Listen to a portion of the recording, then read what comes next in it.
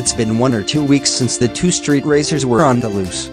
Cops said they couldn't capture them because they were too fast. The video shows the two men speeding down the street, weaving in and out of traffic. No one knows who were the drivers was.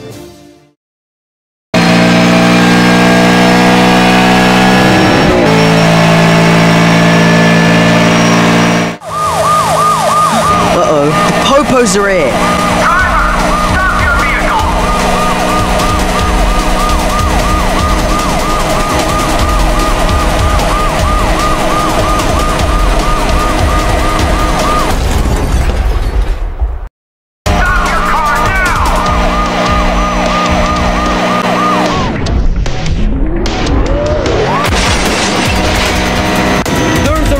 Roadblock! You know what? Let's knock those imbeciles out!